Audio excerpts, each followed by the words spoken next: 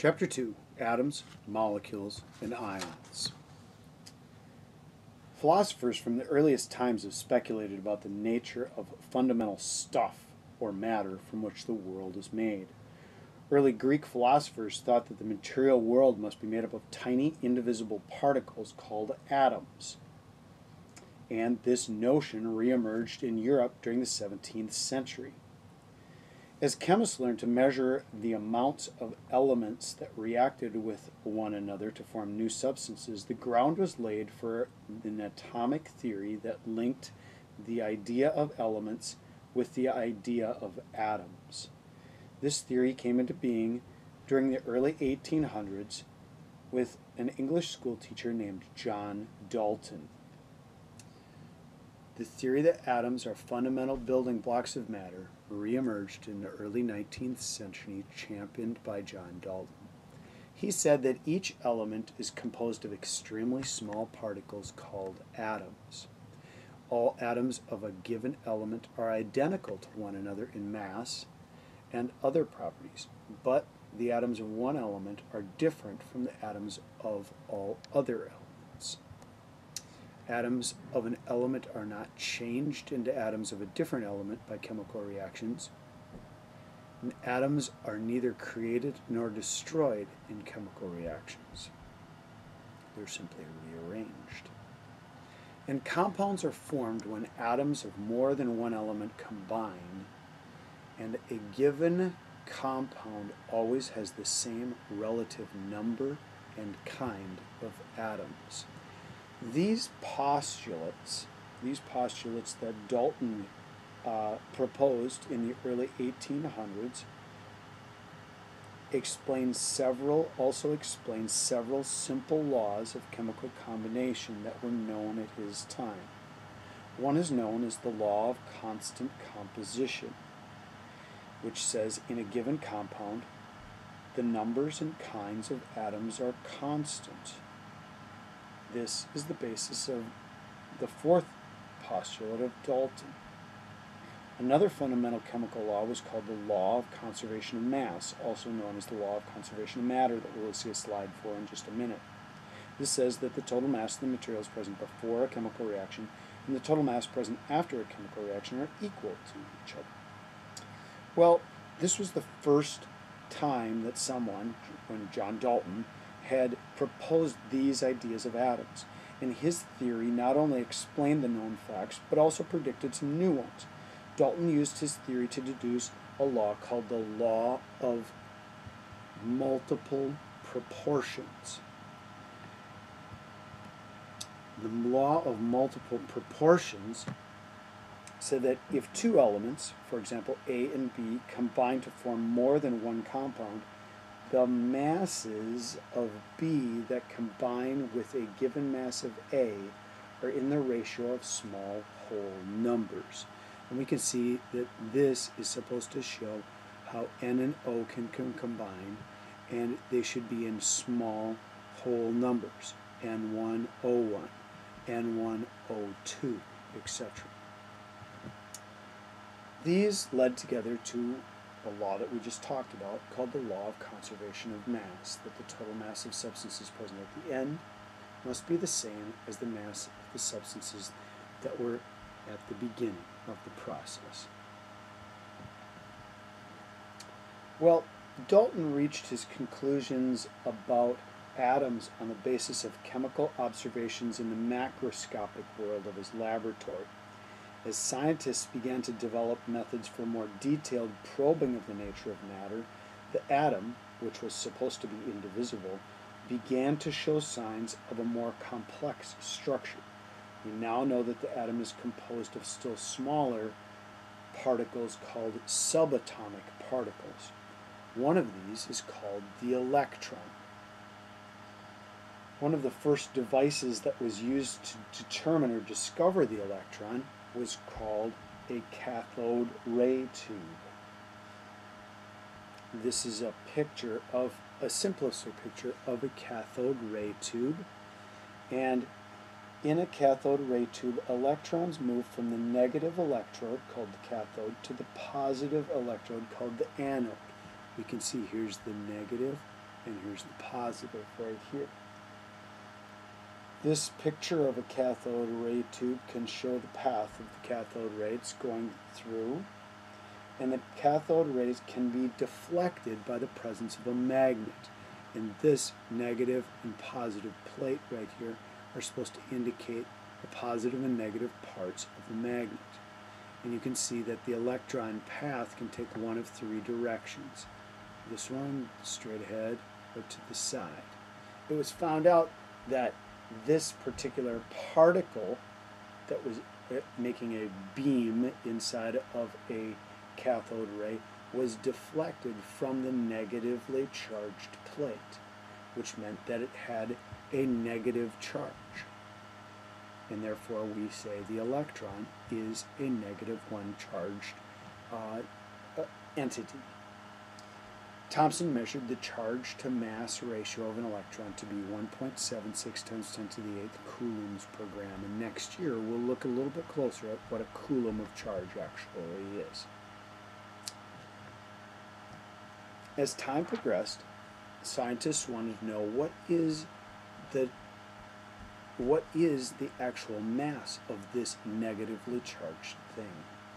And a gentleman named Millikan did an, a famous experiment called the Millikan oil drop experiment, where he determined the uh, charge on the electron and, and therefore uh, knew or used it to determine the mass charge ratio of the electron.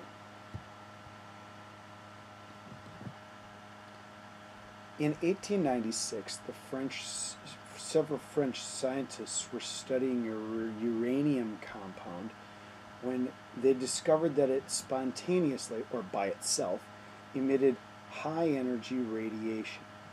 This spontaneous emission of radiation is called radioactivity. One of the people that worked with this was named Marie Curie and her husband Pierre. Further study of the nature of radioactivity revealed three types of radiation.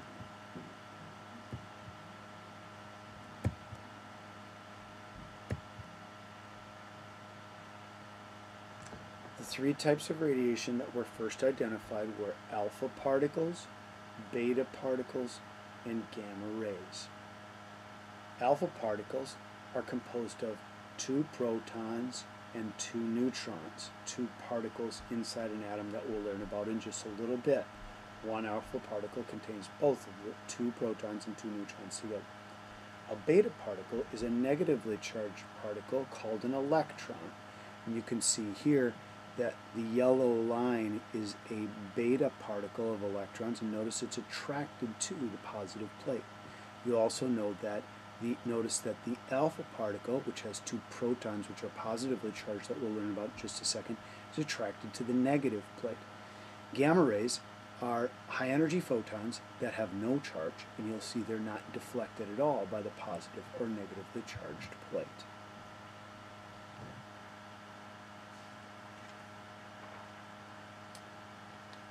Well, there was some growing evidence that the atom was composed of smaller particles, and the first idea that came about in the early 1900s was that the atom was made or put together like something called plum pudding.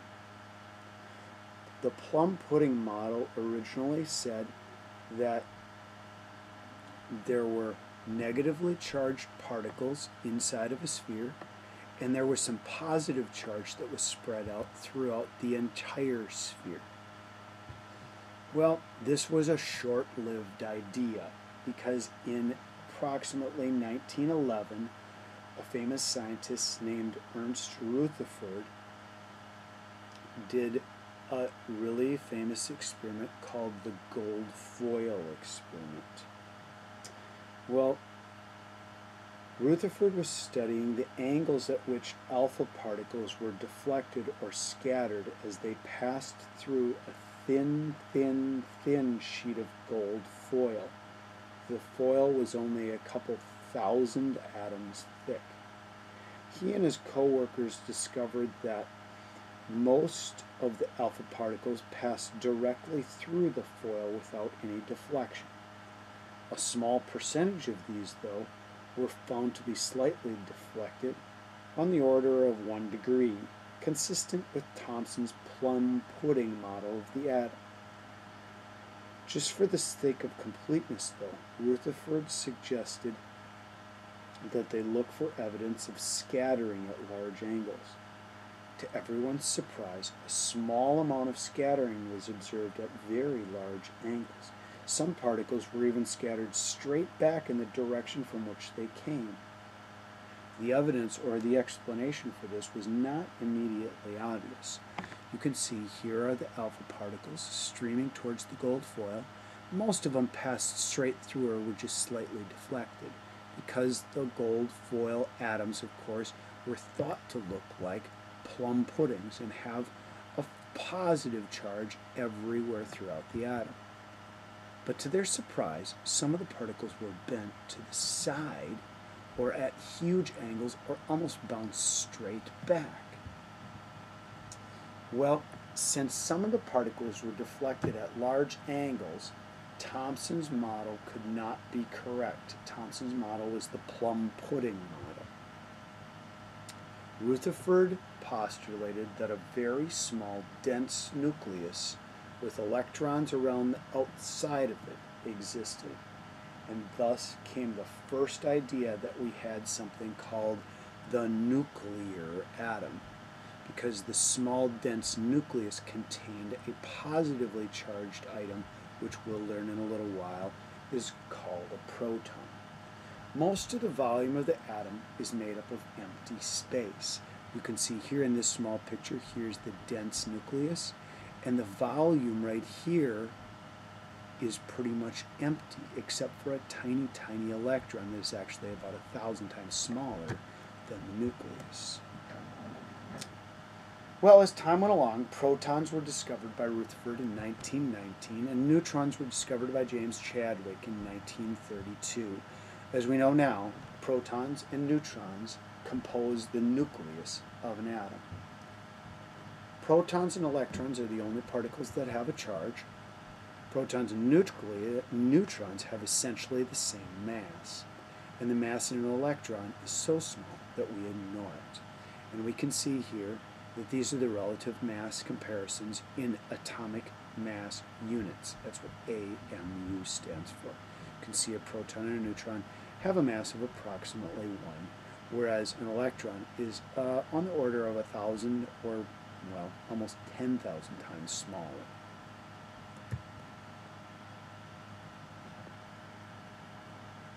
We use symbols to identify the elements. Symbols are one or two letters. Symbols are one or two letters that are used to identify a particular element, and they're universal. They're universal in all languages. A shape like this, which we know as a C, is always the symbol of the element carbon. This symbolization, called a nuclear symbolization right here, tells us the number of protons in the nucleus right down here, which is known as the atomic number. The atomic number is also symbolized by the letter Z, the capital Z right here.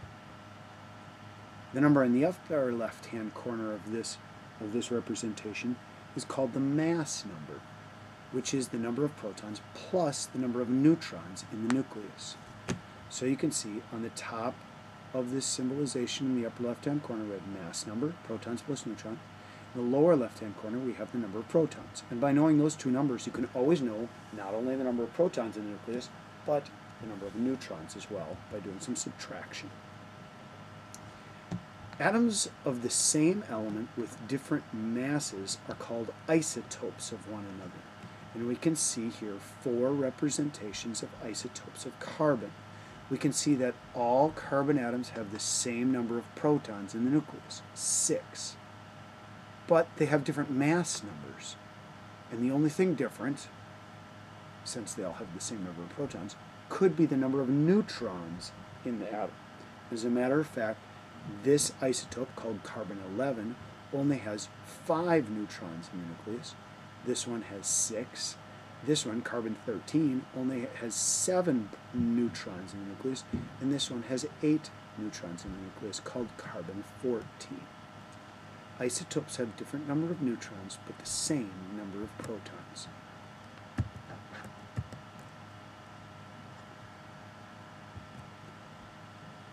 Well, we can determine the uh, atomic mass of a particular sample of atom. And atomic and molecular masses can be measured with great accuracy using a mass spectrometer. And in class, we'll actually use a digital representation of how a mass spectrometer can determine how heavy or how massive a certain sample of an isotope is. Because in the real world we use large amounts of atoms and molecules, we use average masses in calculations. Because we use billions and trillions and trillions and trillions and trillions of these atoms, we can't just say, well, here's one atom of carbon 13. We just have a chunk load of carbon. And some of it's carbon 11, some of it's carbon 12, some of it's carbon 13, some of it's carbon 14. And so what we use is what's called the average mass. And it's calculated from the isotopes of an element weighted by their relative abundances. The atoms, I'm sorry, the elements in the world are systematically cataloged on something called the periodic table. Elements are arranged in order of atomic number. You'll notice from left to right and top to bottom they go in order of atomic number from 1 to 2, 3, 4, 5, 6, 7, 8, 9, 10, 11. You'll also notice on this colorful representation of the periodic table that the metals are mostly located on the left side and the lower portion of the periodic table.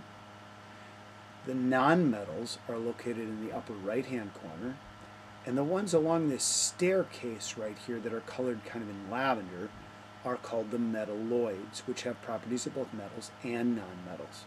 You can see that this lower area right here, sometimes called the rare earth elements, fits right into this slot here, and actually these two blocks of elements would be moved further to the left. When one looks at the chemical properties of elements, one notices a repeating pattern of reactivities. You can see that elements in green, lithium, sodium, potassium, are all soft reactive metals.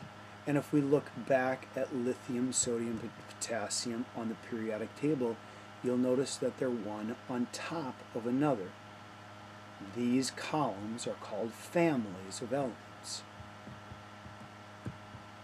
You'll also notice the elements helium, neon, and argon in purple are non-reactive gases. If we look back at the periodic table, you'll see helium, neon, and argon are all in the same family, known as the noble gases. Rows on the periodic chart are called periods. Columns are called groups or families. Elements in the same group or family have similar chemical properties as we just saw. These five groups are known by their names. Group 1, 2, sometimes this one's called group 16 for simplicity, group 17 for simplicity, and group 18 for simplicity. The periodic tables, as you see in class, actually have been labeled and numbered four different ways. And if we look back at the periodic table in this PowerPoint, you'll see that it's numbered as groups 1A, 2A, 3A, 4A, 5A, 6A, 7A, and 8A. And then these are the B numbers right here in the middle. And they look like they're out of order. You'll also notice that they're numbered 1, 2, 3, 4, 5, 6, 7, 8, 9, 10, 11, 12, all the way up to 18. This is the most popular way of numbering the groups or families. And so when we talk about groups or families, I'll always number them 1 through 18, and we'll talk about them in that way. If you look back here, this is group 1. Alkali metals, two alkali earth metals. This is technically group 16, 17 called the halogens, and 18 called the noble gases. Nonmetals are on the right side, with the exception of hydrogen. Hydrogen should belong over here with the nonmetals. Metalloids border the stair step, and metals are on the left side of the chart it's very important to know the positions of the metals, nonmetals, and metalloids. You need to memorize that. Chemical formulas are combinations of two or more atoms. The subscript to the right of the symbol of an element tells us the number of atoms of that element in one molecule of the compound. For example, H2O tells us there are two hydrogen atoms and one oxygen atom. Notice there's no 1 here below the O. And anytime you see a symbol with no number below it, just assume there's a 1 there. CH4 means that there's four hydrogens, one, two, three, four, and one carbon. You can see here oxygen in its diatomic form, meaning there are di, two oxygen atoms together here, has two of them stuck together. Molecular compounds are composed of molecules and almost always contain only nonmetals. This is a key to the upcoming portions of our entire class. Molecular things contain nonmetals. Molecular things contain nonmetals only. There are seven special elements on the periodic table. They occur naturally as molecules containing two atoms. Notice they're only nonmetals. And when they're alone by themselves, they exist in pairs. These are called diatomic, the prefix di meaning two, atomic meaning atoms, diatomic or two atom molecules. Notice they form a figure of a seven here on the periodic table, and some people call these, along with hydrogen, the sneaky seven, because there are seven of them total, and six of them come together to form a seven on the periodic table. You need to memorize these and be able to pick them off the periodic table. There are two types of chemical formulas. The first type are called empirical formulas. These give us the lowest whole number ratio of atoms of each element in a compound. Molecular formulas give us the exact number of atoms of each element in a compound. In Chapter 3, we'll actually learn some calculations to determine both the empirical and molecular formulas of compounds. Structural formulas show us the order in which atoms are bonded and perspective drawings also show the three-dimensional array of atoms in a compound, which becomes really important. If you've taken any biology before, perhaps they've talked about how form leads to function. Well, form leads to the function of atomic things as well. And so it's very important sometimes to know the three-dimensional makeup of different molecules. You can see here's a structural formula with dashes showing the hydrogens are connected to carbon. Here, a perspective drawing with a wedge showing that this H is coming out of the book, a little dash, dash, dash showing that this H is going back into the book or into the page. And these H's with these uh, little dashes between mean that the hydrogen, carbon, hydrogens here are in the same plane. This is also called a space filling model right here, and this is good for helping find the uh, three-dimensional shape as well. When atoms lose or gain electrons, they become what are called ions. Cations are positive and are formed when elements are on the left side of the periodic chart. Everything left of this staircase here almost always forms positively charged ions. They're called cations. Cations. Memorize that name and know that metals almost always form positive cations, positive ions called cations. Here are a few examples. Notice group 1 elements always form plus 1, and group 2 always form plus 2, and aluminum always forms plus 3. Anions are negatively charged and are formed by elements on the right side of the periodic chart. Notice the uh, nonmetals form negatively charged ions. When positive and negatives come together, they form what are called ionic compounds. They are composed of a metal and a nonmetal, and we'll learn about those in a bit. Ionic bonds are generally formed between metals and nonmetals, and these form ionic compounds. These form ionic compounds. Notice we talked about molecular compounds before. Those contained only nonmetals. Now we talk about ionic compounds, which contain a metal. Contain a metal. Notice the difference. That's very important in our upcoming, not only this chapter, but many future chapters. Ionic compounds contain a metal. Molecular compounds contain only nonmetals. Because compounds are electrically neutral, one can determine the formula for a compound this way. The charge on the cations becomes the subscript of the anion. So take this plus 2, drop it, and swap it over here to the N. Take the charge on the anion and drop it and swap it over here to the cation. So the formula with magnesium and nitrogen would be Mg3N2.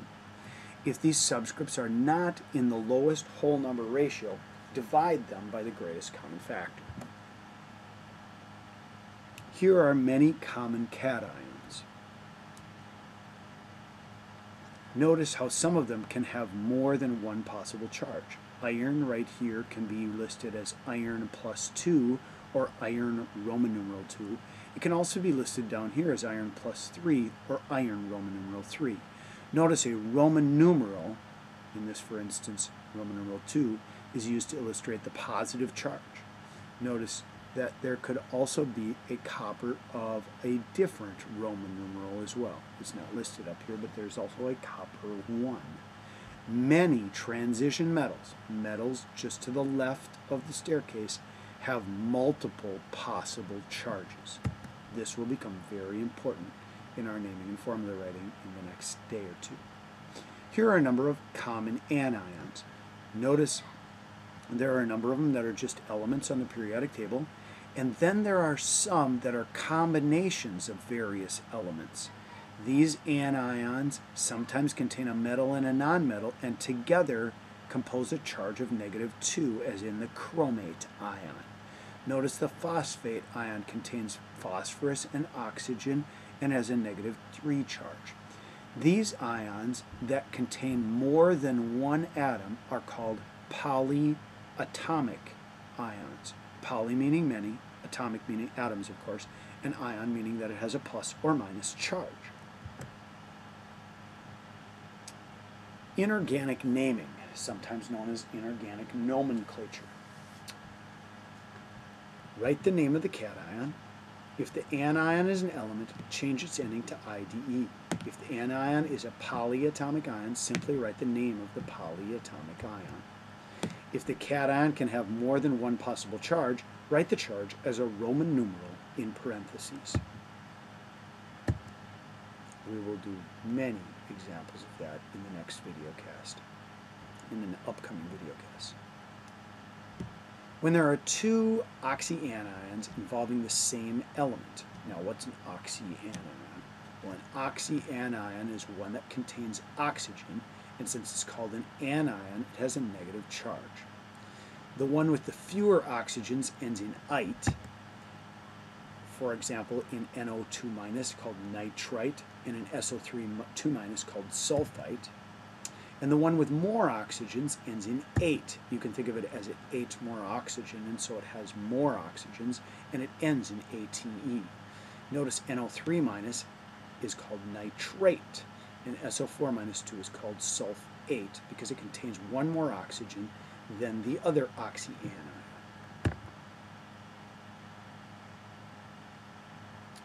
The one with the second fewest oxygens ends in ite, as in, for example, in chlorite. The one with the second most oxygens ends in ate, as in ClO3 minus or chlorate.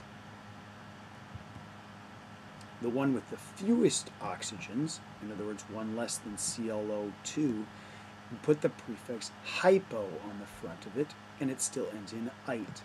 This is called hypochlorite, which is listed right down here, ClO.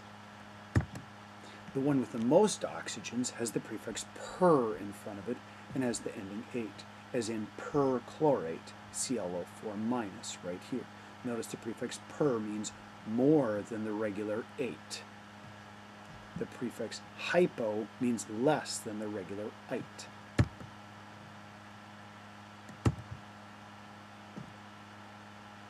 If the anion in an acid ends in "ide," change the ending to "ic" in an acid and add the prefix hydro.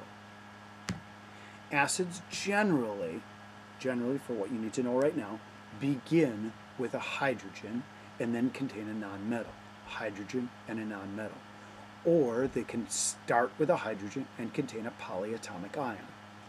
If they contain only two kinds of elements, like for example here where there's hydrogen and chlorine, we call them a binary acid because they only contain by two types of atoms.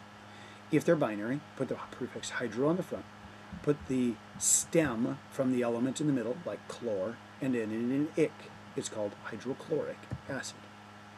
HBr is called hydrobromic acid.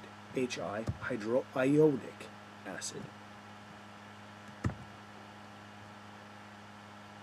If the anion in the acid ends in ite, change the ending to us.